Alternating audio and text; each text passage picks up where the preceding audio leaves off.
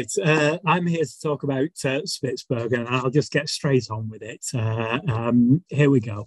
So, um, uh, when because the uh, uh, the Earth is spherical, when you look at a flat map, uh, we use the Mercator uh, projection, which starts doing funny things up near the North Pole because they've got to make uh, something that is essentially 3D, 2D, and it makes a big difference up there. But uh, Spitsbergen is the archipelago right at the top of the map there. Uh, it's about 500 miles north of the top of Norway, um, of which it is considered a part. And um, uh, it's, uh, uh, it, well, it, the Arctic Circle it's as far north of the Arctic Circle as London is south of the Arctic Circle. So you're really talking serious north up there in, in, in, in Spitsbergen.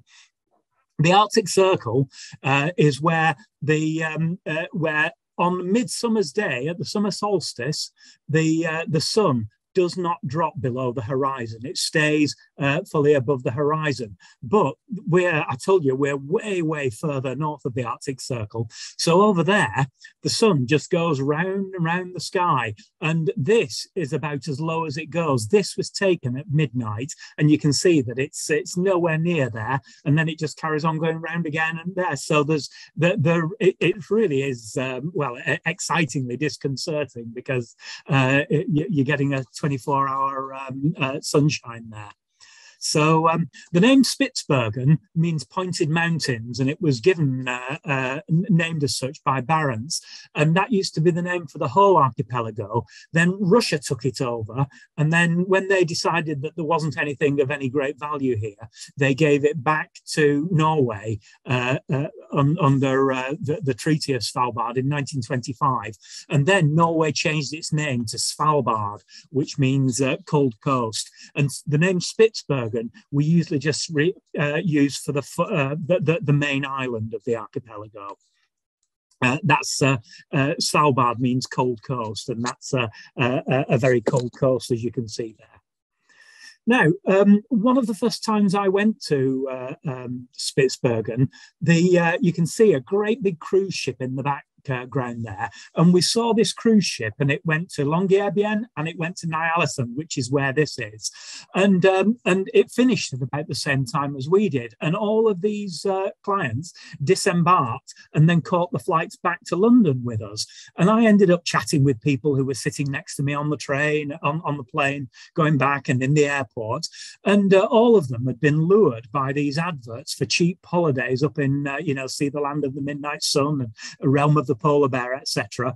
And they'd all gone for it because it seemed like a bargain. But when you're on a ship that size, it can't land anywhere and they don't have zodiacs to get you ashore. So most of them, well, in fact, all of them, never even saw a polar bear or a walrus or any of the other great wildlife that's up there because they could only land in the towns and the towns aren't generally the best places for wildlife. So uh, we tend to go on smaller boats. Uh, the Ortelius, as uh, you're probably sick of seeing the Ortelius now, but uh, Uh, uh, uh, the smaller boats, and they they house it, it, it just over hundred passengers, and we have lots of zodiacs, which means that we can get off the boat and go and make landings at many opportunities whenever it's safe to do so.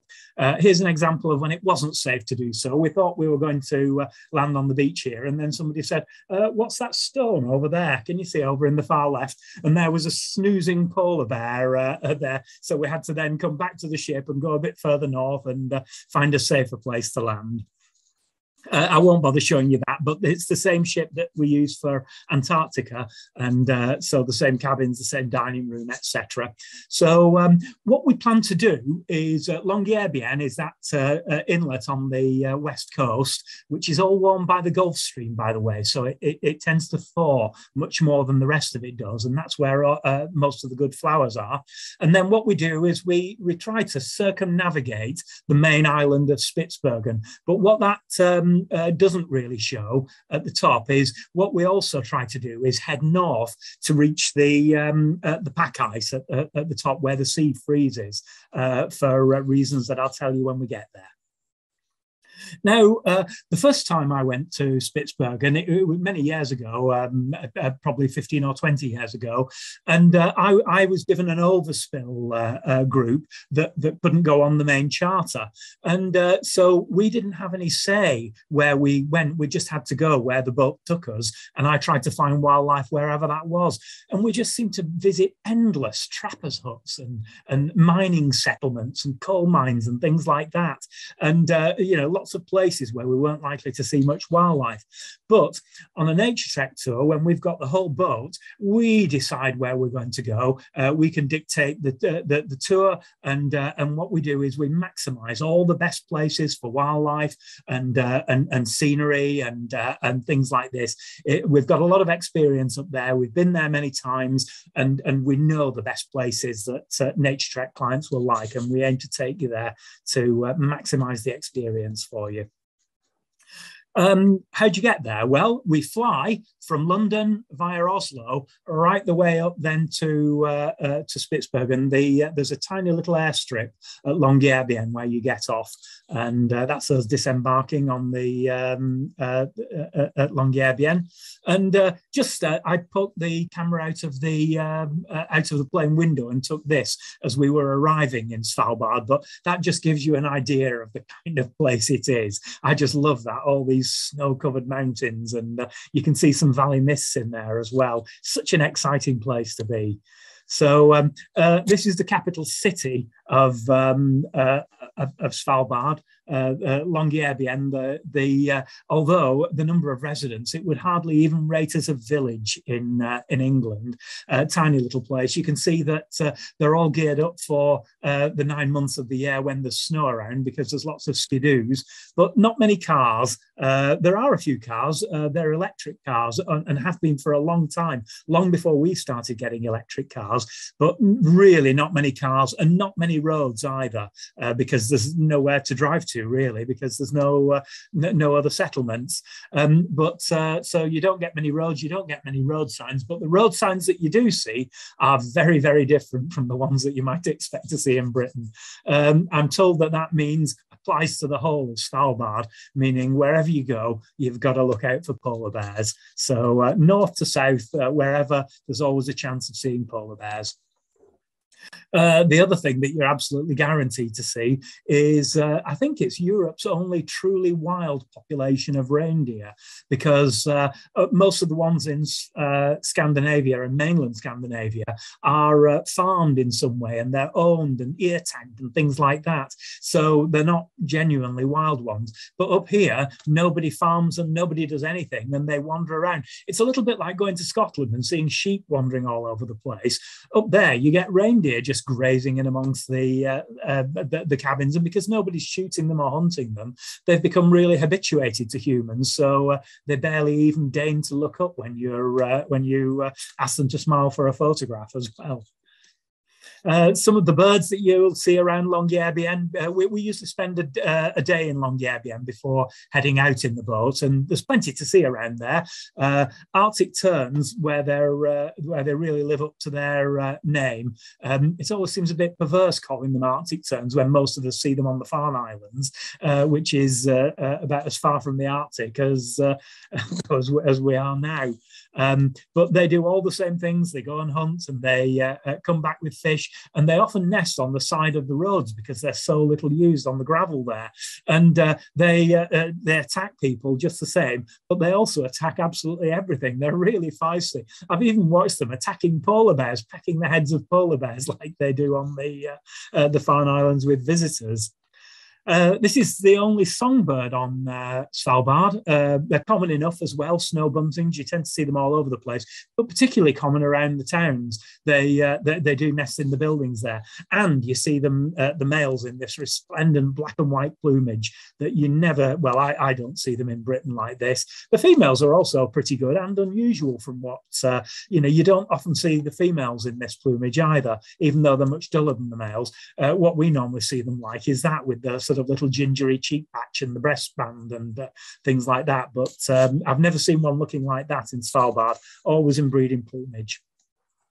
Um, this is up in the uh, the cemetery behind uh, uh, Longyearbyen. You can see the old uh, mining uh, uh, works in the background, and you can just see the abundance of flowers there. the, the tiny little white thing is Arctic bell heather on the left, and the one on the right is mountain avens, which is quite a scarce plant in Britain, but there it's one of the commonest plants. It just grows everywhere, carpets the place. Uh, ptarmigan also occur uh, right down to sea level there. They're one of only two birds that spends the entire winter in um, uh, on Svalbard. You know, they, they don't migrate anywhere. And um, uh, the other thing that I find interesting is uh, up in Britain, our ptarmigan turn white in winter and brown in summer. But up there, the males remain white all year round, and it's only the females that turn brown when they're nesting. So um, yeah, so you often see uh, well dirty white males and uh, and uh, the females there. This was just uh, dust bathing on the uh, on the road at the back of Longyearbyen. Um, the, uh, some of the birds that you see up there are in a very different plumage than the ones that you're used to seeing in Britain. So this is one of the commonest breeding waders up on Svalbard, and this is purple sandpiper. But look at that sort of uh, spangled back and the and the really complicated marbled face pattern. And when you look at what we see in Britain, they're uh, uh you know plain grey faced and grey backed. You know, not uh, uh, very very different birds completely.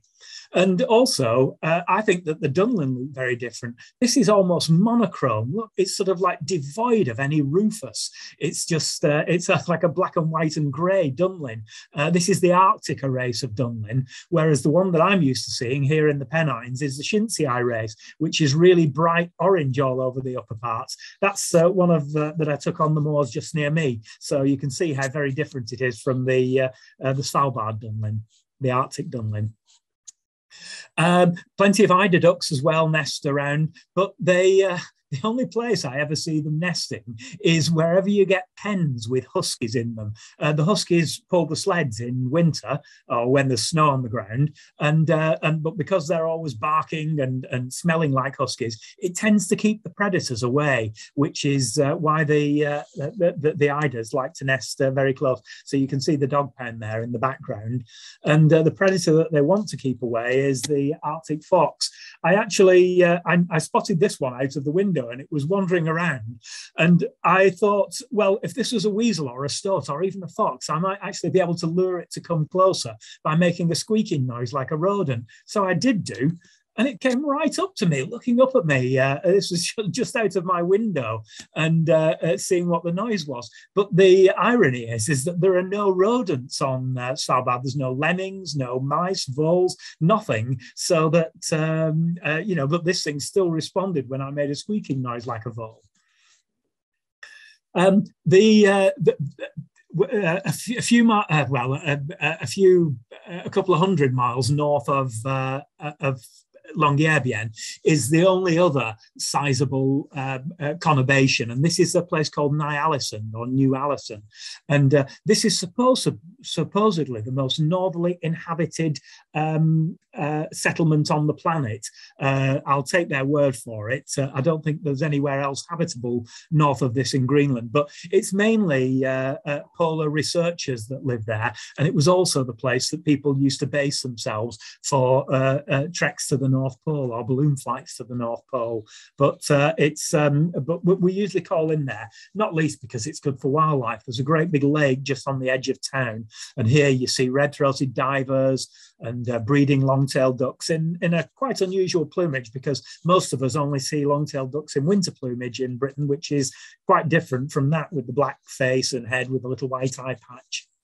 The um, lots of geese nesting around here as well. The commonest, most abundant, is um, uh, barnacle geese. Uh, here's some young barnacle geese, and this is the population, the Svalbard population, that all winter in Caerlaverock in southwest Scotland. Uh, that I'm, I'm, hoping that this it's not going to have affected their numbers too badly because I know that they uh, they were hit quite hard with bird flu there. Um, pink-footed geese are the other um, uh, uh, goose that that nests around uh, there. They um, now uh, this uh, Britain has 85% of the world's pink-footed geese in winter, but the Svalbard ones are the 15% that don't winter in Britain. These ones winter in the Low Countries. Uh, um, um, like Belgium and Netherlands, Luxembourg, but they're um, uh, but but the rest of them come from uh, Greenland and Iceland and come to Britain. But they're still there. And the other uh, uh, uh goose that nests up there is the pale-bellied Brent goose. And this population on Svalbard winters entirely at uh, Lindisfarne in Northumberland, and that's the only place they winter, and this is the only place they breed. So it's uh, you know it's almost like having a timeshare, isn't it? They've got the place where they go for the winter and the place where they go for the spring, and they're in uh, summer, and they're incredibly site faithful. Uh, also has its uh, its uh, huskies that uh, pull the sleds, and uh, I, I, often make a, an effort to go near to where all the huskies are. Uh, for one reason is they don't feed them on Kennomeat up there or pedigree chum because there's no shops to buy it. What they all feed on is seal. So they do shoot seals and they hang up the thing and, and feed them with bits of meat off the seals. But when you hang up bits of meat like that, it attracts things uh, that we want to see, including uh, the ivory gull, which is quite a, as a scarce and sought after species there. But uh, is, is one of the, you know, the first reliable sites to see uh, uh, beautiful ivory gulls. I'll tell you more about ivory gulls later on. Also, just across the bay from um, uh, is a place where long-tailed skuas nest. Long-tailed skuas aren't a common bird in Svalbard because they normally feed on lemmings, and there are no lemmings there. So um, they, uh, but but there has been a reliable small population very close to Ny-Ålesund, and they're incredibly confiding and curious as well. Sometimes somebody said, "Oh, if you pick up a pebble on the beach and just flick it, they'll come and investigate." So I did, just flicked a pebble, and it bounced over the tundra and it just flew straight down and looked at this pebble uh, to see what was going on. I mean, I suppose there's uh, not much to occupy them up on Svalbard, so they, uh, they're, they're, uh, they fall for tricks like that. Uh, there are plenty of Arctic skuas, though, that uh, uh, because they piratize uh, seabirds, and there's no shortage of seabirds for them to uh, uh, to mug around there. This one was flying straight at my face. Actually, a few seconds later, it actually hit the front of my camera and knocked me off my feet. But that's another story.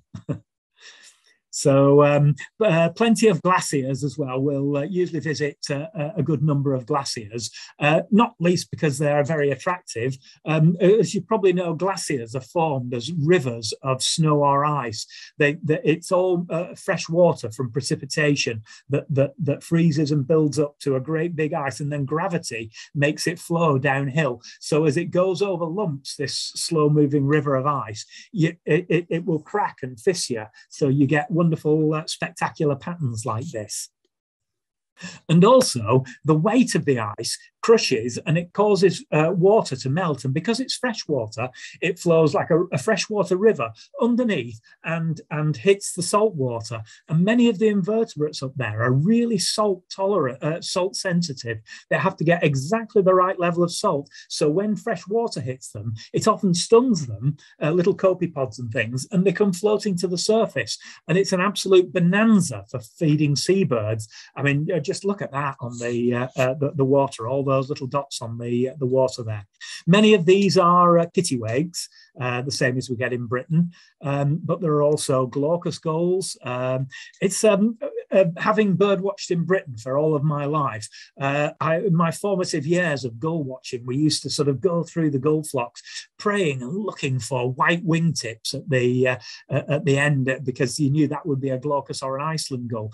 But up in Svalbard, all the big gull flocks are glaucous gulls, and you're sort of skim, skimming through looking for a rare herring gull or a great blackback gull amongst the, the hundreds of uh, glaucous gulls there.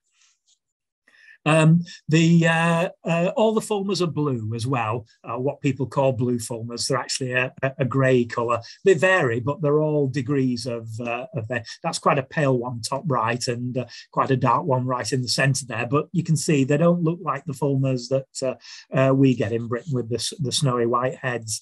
I don't think I've ever seen a blue fulmar in Britain, but um, and I don't think I've ever seen a white fulmar up in Svalbard either. But so it, it's almost like getting a different bird when you go and see those.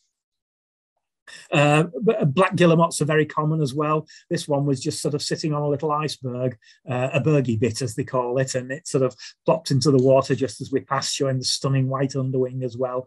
Uh, great birds, you'll see lots of those up there. Uh, this is an ivory gull and a glaucous gull in the background there, uh, just flying in front of the lovely sort of blue ice of the uh, of, of, of, the glacier.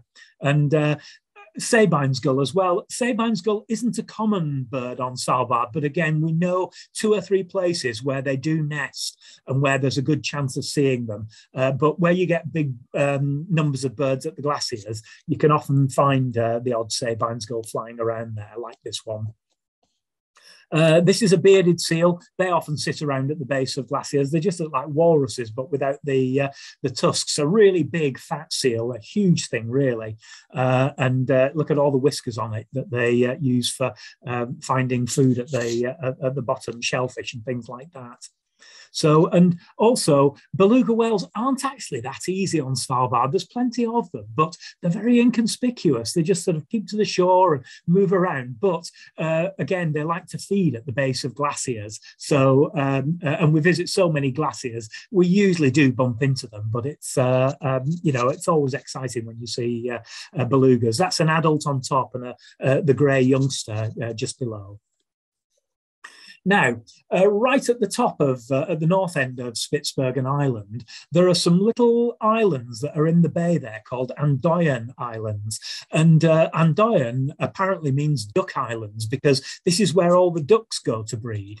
Um, uh, th there's lots and lots of pairs of nesting eiders, there's eiders with uh, with youngsters, and uh, there's also a few uh, king eiders up there. But king eiders are always a lot more difficult to uh, uh, to, to, to, see up there than than common eiders.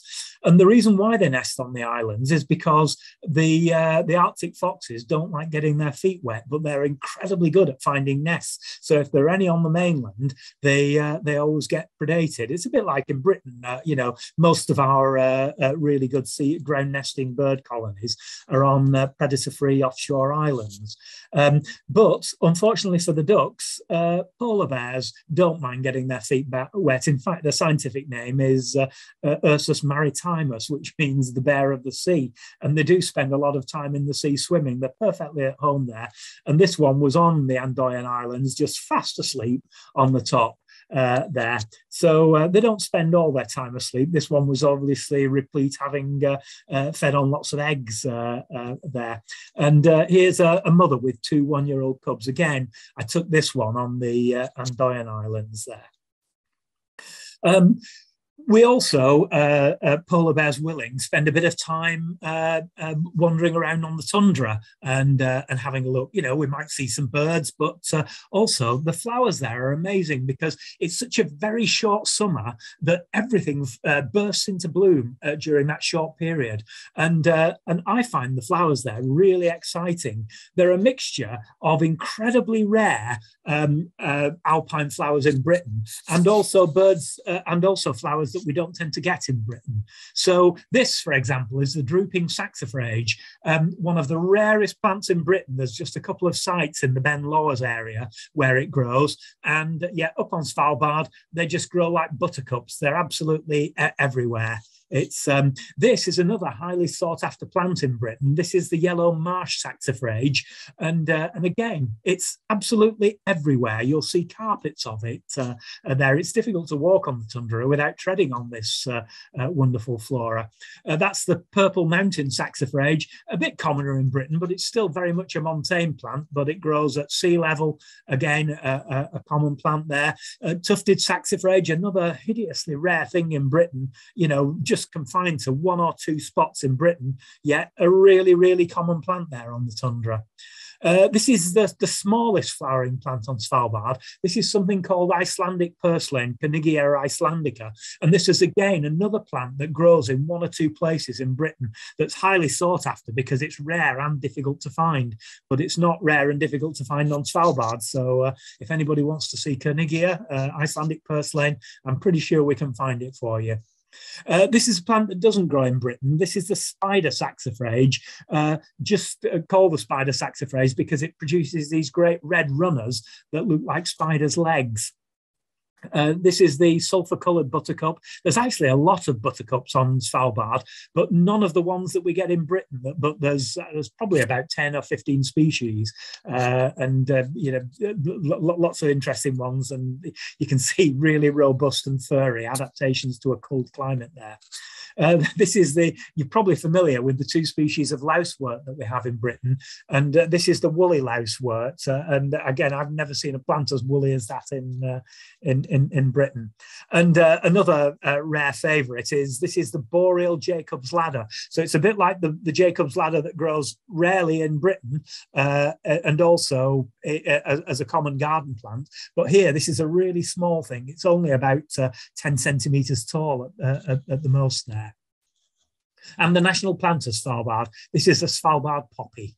Uh, it has two colour forms. This is the paler one. There's also a yellower one, but again, it grows everywhere on Svalbard. And the oyster plant, that's another very rare northern plant that grows only on beaches in Britain, but it doesn't grow only on beaches in Svalbard. I mean, I found this, this was just growing in one of the side, uh, on the edges of one of the roads in uh, Longyearbyen, this one. And uh, uh, th- this is the moss campion. They call this one the compass flower because you can tell which way is south because the, the one on the south side of the tussock is the one that comes into bloom. And it's pretty, pretty uh, stark, that, isn't it, with just having a half and half uh, uh, tussock. Um, nearly finished with the plants now. This is uh, Polar Campion uh, that has that really expanded calyx, uh, again, quite unlike any kind of campion we have in Britain. And the one that, uh, bizarrely, everybody's really keen to see is the Arctic dandelion, which is white instead of yellow. Uh, so it doesn't really look like a dandelion, but it's actually quite a rare plant. And uh, if somebody finds a dandelion in flower, everybody wants to see the white dandelion. But, and again, we can usually find it. Now, when you leave the top of Svalbard, we can go up to where the sea is frozen. That's one of the uh, the things that we always make time for on uh, on these trips. And uh, so, unlike glacier ice, which is fresh water, this is frozen seawater, uh, and th- this is and where it breaks up, this is what we call the pack ice. So that was taken from the front of the boat uh, uh, there, and it's actually really good for wildlife up here. Um, you know, you'd think that when you're nowhere near land but it's actually, you know, what you do see up here is really interesting stuff. Um, this is where the seals like to breed, um, uh, particularly ringed seals, and these are harp seals as well. And they uh, they uh, build themselves a hole in the ice and, and give birth to a, a baby, and, and it's it, it hides in this uh, um, little bivouac in, in the ice. And uh, because this is where all the seals breed, this is where the polar bears want to be. Um, it's also you, you start bumping into walruses. Look at that one. I mean, isn't that so photogenic? Sitting from uh, on a uh, uh, there with its reflection on a little uh, bit of pack ice uh, with all that photogenic stuff in the background. But I love walruses, but I'll come to that again. Um, the um, what you're looking for uh, here is something that's feeding on the seals, and that is the characteristic uh, footprints of a polar bear there. And you can see the blood uh, there. And I don't think that's polar bear blood. I think it's probably been uh, uh, managed to successfully catch a seal, and it was taking it somewhere uh, quiet so that it could eat it. And here is said polar bear that's just got an inside out. Um, uh, harp seal there. I, I, quite like this photograph just because the, the, the face is framed by the uh, the flapping ivory gull. Now um, I'll show you another picture. That's uh, you can see the ivory gulls above it. Now ivory gulls are the only other species of bird that spends the entire uh, winter. It's it's their 24 seven uh, uh, in in uh, in Svalbard. It doesn't usually wander any uh, anywhere. Uh, but, so even in winter, when it's really sub-zero temperatures and 24-hour darkness, it still continues to live up there. But it's ecologically linked with polar bears. What they do is they follow polar bears around, waiting for them to do a kill, and then what they do is they pick off the uh, the bits that the polar bear doesn't eat, and the polar bear doesn't eat anything. It high grades. It picks the things that it wants to feed on, um, uh, like the blubber, and then it leaves the bits it's not that interested in, like the muscle even, and will go off and find uh, um, uh, uh, uh, something else to eat there. So um, once when we were up on the pack ice, we hadn't seen a polar bear, and then somebody spotted one some distance away. This is the actual polar bear, and uh, and it was lots of, of crumpled pack ice nearby, and we are thinking we might not be able to get close to it. So what we decided to do was uh, the captain's suggestion was he said, what we'll do is we'll have bacon for dinner because when you you're not allowed to feed polar bears, by the way, you can't throw them food to lure them.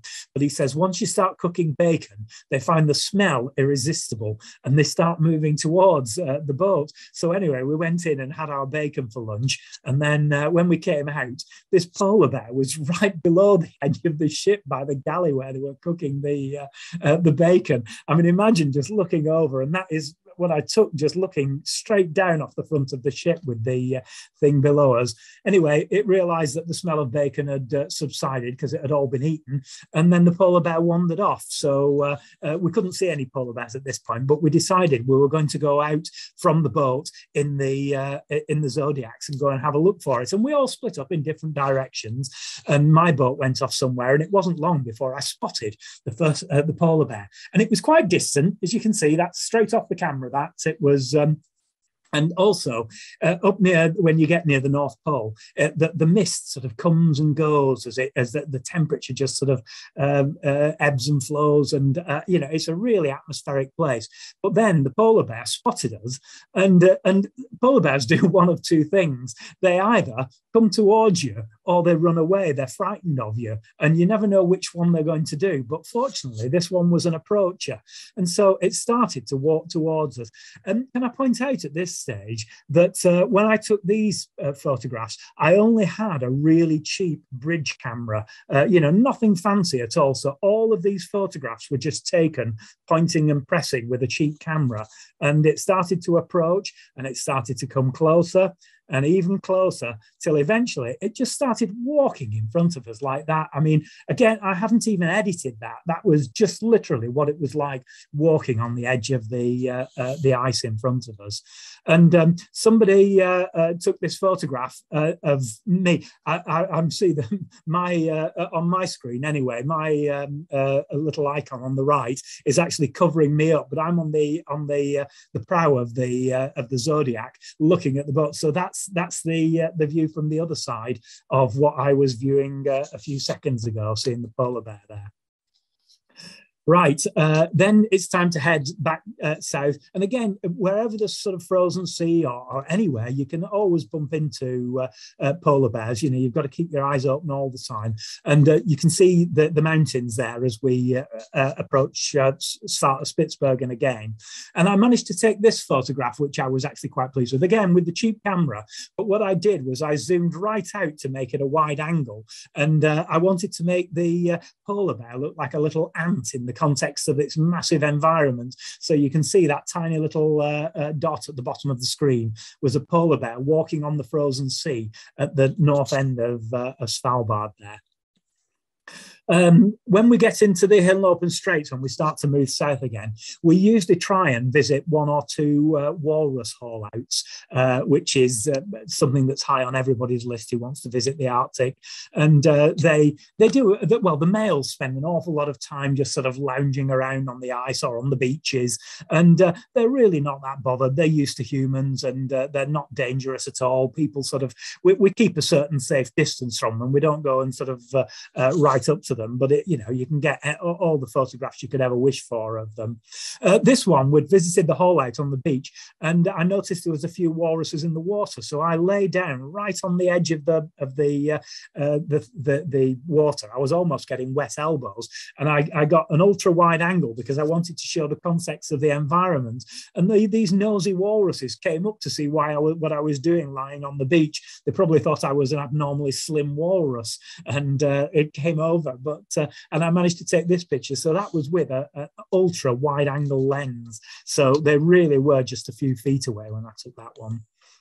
Now, this group of, uh, of uh, walruses are actually more dangerous. This is the females. They, they, they, they group into uh, uh, single sex groupings, and the females look after the youngsters. And you can see that's a very young youngster in the middle, and the one below the tusked individual is a sort of like a teenager, but they're very protective over them. And uh, so we always give them a wide berth if we see a group of walruses in the sea, because uh, a group together usually means that there's youngsters there. But I still thought it was quite quite interesting, showing the little baby walrus in the middle there.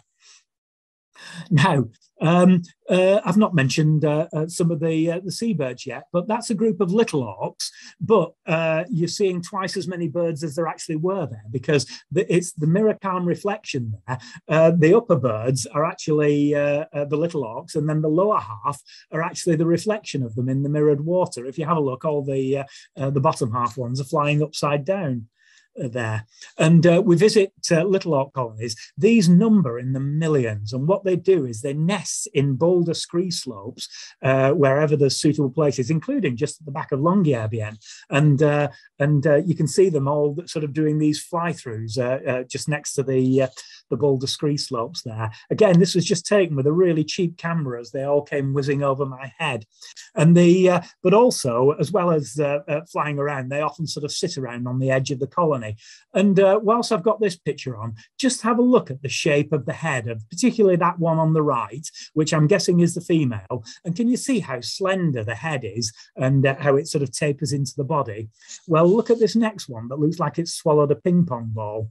It's um, can you see it sort of uh, like all puffed up uh, uh, like a hamster with its cheeks full, and that's exactly what it is. Um, because you know how puffins uh, hang around with a, a, a beak full of sand eels showing to any prospective females that they're going to be a good provider and uh, and hopefully will be an attractive mate. Well, uh, these things feed on little copepods, little marine creatures, and what they do is they swim underwater, catch hundreds of these things until their cheeks are absolutely bulging, bulging, and then they sit around showing their sort of big swollen head, showing what a great provider they'll be. And I thought that that one uh, just really shows it well with the uh, the ping pong ball head.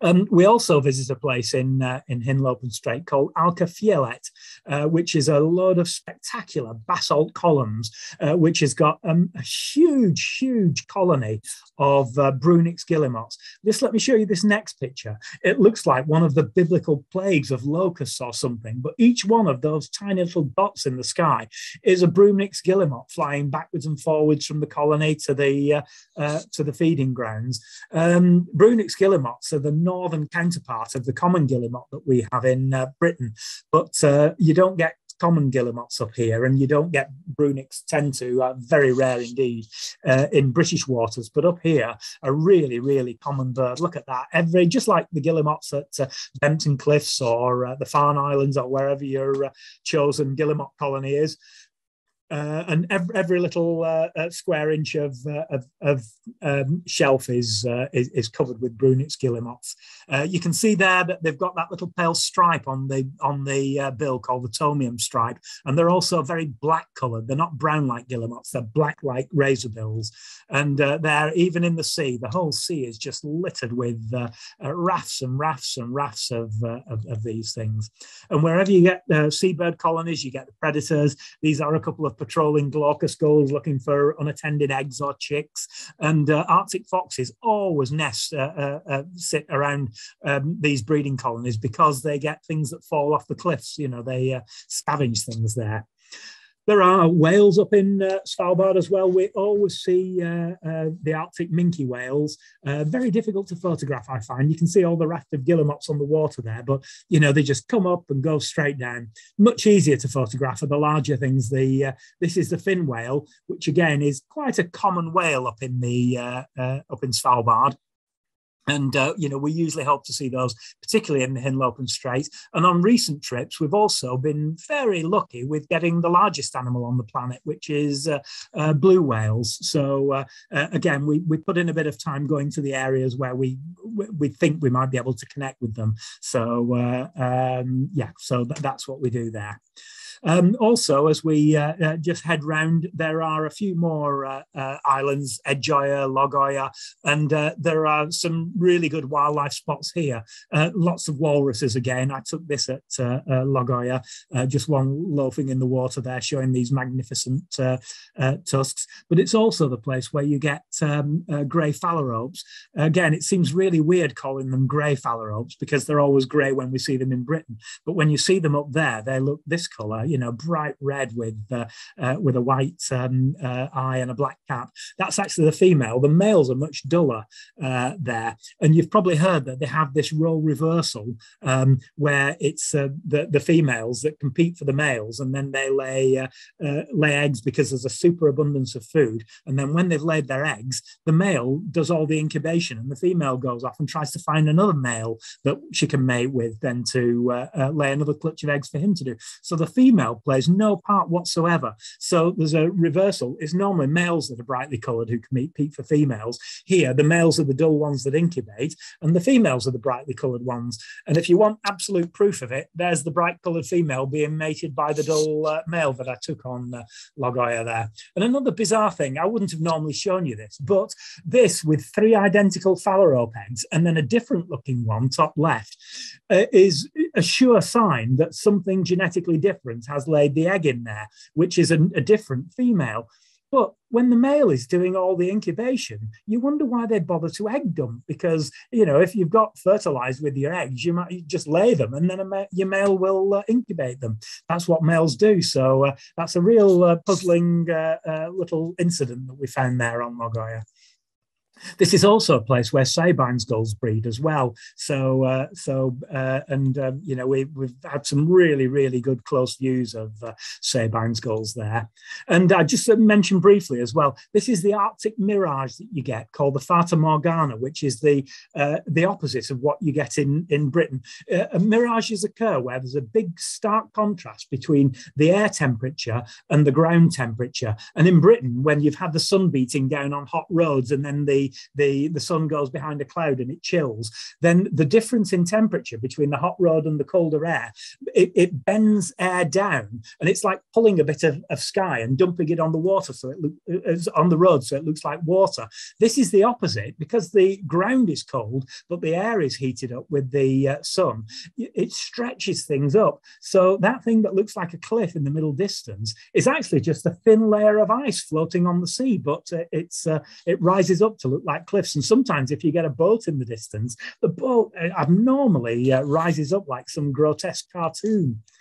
So all the time I've been to uh, Svalbard, I've seen some pretty amazing things like big groups of, uh, of polar bears uh, feeding on whale carcasses. I think I've seen that three times now.